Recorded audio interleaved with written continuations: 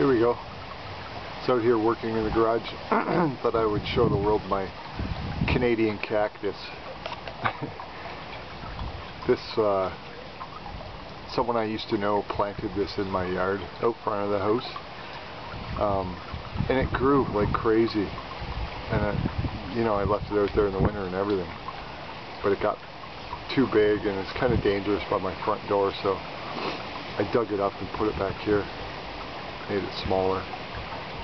But um, it kind of amazed me that it, it did so well here. I live in Ontario, Canada.